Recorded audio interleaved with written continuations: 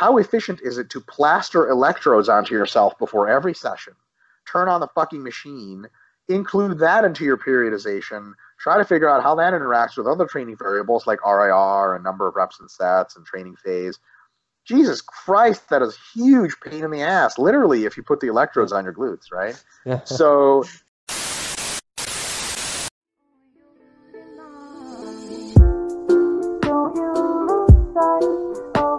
it's about the i don't know if you're familiar with uh, russian currents uh, russian electrical stimulation. They use electrical stimulation to to more hypertrophy results. Mm. and some gyms some uh, gyms just say oh this is better because it gives you more results in less time. So pretty much it's like electrical stimulation you do your squat and they use it for uh, what's it called? If if you if you can't use if you have an accident, for example, and you can't really use your biceps like before, mm-hmm. they electric totally. electrically stimulate it. Got it. So, uh, the, in in the context of injury recovery, especially through traumatic injury, um, electric uh, activation of musculature can help you relearn how to use those muscles. That's if you have nerve damage, okay? And it's a very, very good use. It's very effective. Uh, the thing is, nobody in the gym has any problems using their muscles. Okay, that's almost all technical feature and a mind muscle feature. And those are things that take weeks to learn. And then most people are not limited by how much bicep activity they can get out of a set. They're limited by how many total bicep sets they can do per week and limited by how much guts they have and does are they going to push themselves that hard. So muscle activation is not a realistic problem for anyone. Uh, most people have their problem just training enough and recovering a lot. Uh, secondly, if you're going to go, let's say that you are saying to yourself, I want better results. I want to be more efficient with my training. I want every every rep of bicep growth, every rep of bicep curls to give me more growth than otherwise. Okay. How efficient is it to plaster electrodes onto yourself before every session? Turn on the fucking machine, include that into your periodization, try to figure out how that interacts with other training variables like RIR and number of reps and sets and training phase. Jesus Christ, that is huge pain in the ass, literally, if you put the electrodes on your glutes, right? so, so what ends up happening is this this needless training complexity that probably to advanced lifters offers no benefit, some costs, in fact, because your muscles being involuntarily activated really throws your technique off.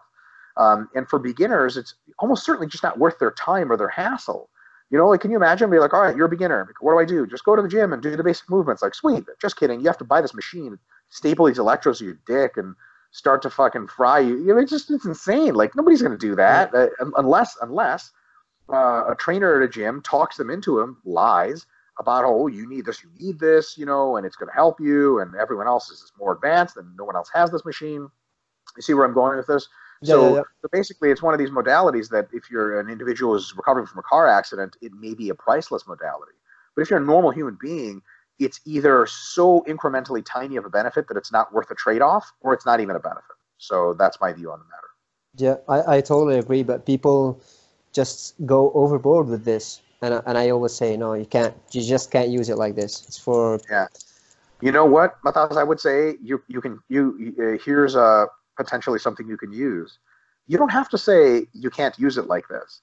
You can say you can use it like this. And they're like, great. And, and, and then you can say, but it's almost certainly not helping you. And they're like, oh, fuck. Because remember, they're not just trying to use it to use it, they think it works. So you have to say, they, they can say, so what's the downside with this? And be like, there's no downside. Be like, okay, so that it works. Be like, there's no upside. And they're like. It costs money, it costs time, it's a huge pain in the ass to put these electrodes. Who likes to put electrodes on their body? First of all. Second of all, who likes to rip them off? You, some of us have, you know, you're Arabic, horrible. you have body hair, I'm sure, right? It like my dad's from from Turkmenistan. I'm I'm hairy head to toe. So we can't do this shit to ourselves, man. Let's let hairless people do that stuff. It is horrible. So right? And so, so it's one of those things. It's like uh, there's an interesting concept where you know the degree. It's all about trade-offs, right? The degree of benefit of something has to at least come close to matching the cost and the downside.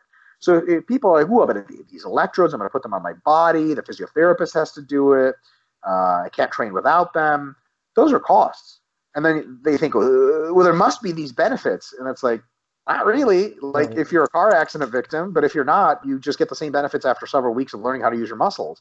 And if you're advanced, it's a cost because it probably interferes with your mind muscle connection and all these other training variables.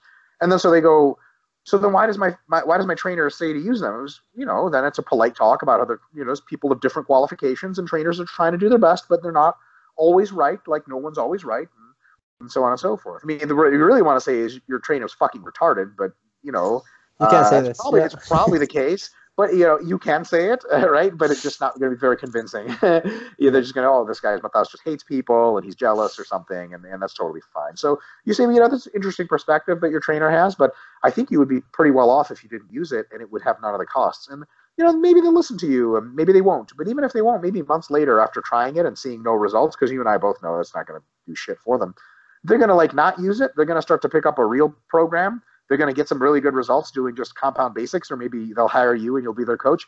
And they'll say, "Man, you know, I feel like an idiot for having used those like those electrodes." And and you don't have to say, "Yeah." You say, "Yeah, you know, we've all done dumb shit." Like me, I remember I trained to muscular failure every single working set for like the first five years of my lifting career. I got hurt like all the time, and I overtrained all the time, overreached.